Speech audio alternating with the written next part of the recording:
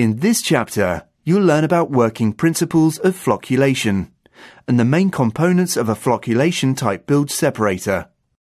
Bilge water separators using chemical flocculation are claimed to be the most efficient and are one of the most popular types, so pay special attention to this chapter. As we have said, Flocculation is a process in which two or more particles aggregate, stick together.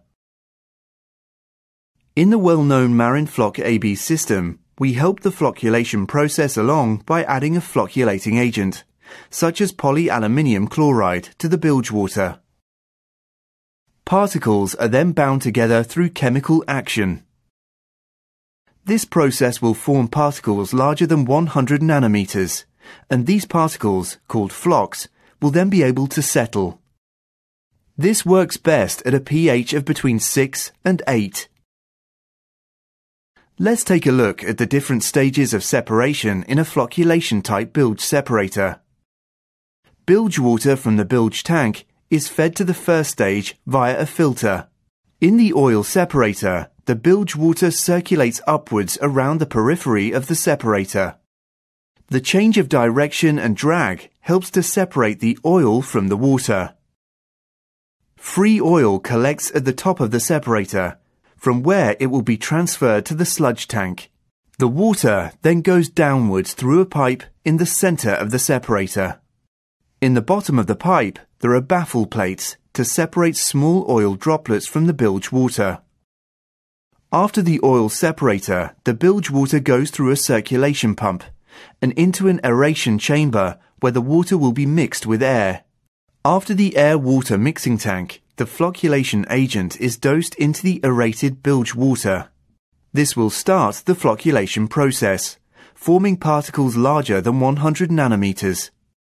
When the aerated bilge water reaches the flocculation tank, the flocculation process starts. Due to all the air in the water, the flocs will float through a pipe in the center, to the top of the tank, where they are skimmed off and transferred to the sludge tank.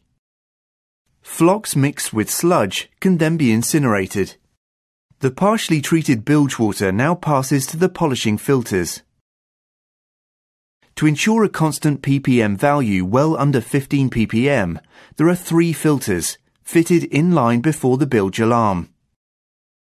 The first stage is filled with a coarse sand filtering medium, aqualite mineral and the next two stages are filled with active carbon. The clean water leaving the polishing filters can then be discharged via the separator discharge monitoring equipment, an automatic stop and recirculating valve. Used correctly, a discharge of 0 to 5 ppm can be obtained.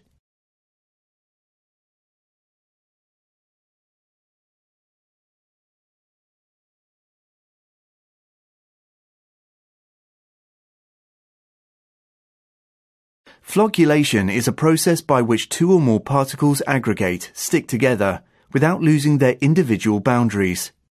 We help the flocculation process along by adding a flocculating agent. This process will form particles larger than 100 nanometers, and these particles called flocs will then be able to settle. This works best at a pH of between 6 and 8. Stages of separation in a flocculation type bilge separator. Step 1 is oil separation. In step 2, the water goes through a circulation pump and into an aeration chamber where the water will be mixed with air. In step 3, the flocculation process is started. Step 4 is processing of the flocs. The flocs float through a pipe in the center to the top of the tank where they are skimmed off. Step 5 is filtration through three inline filters. And finally, step 6 is overboard discharge with a ppm of 0 to 5.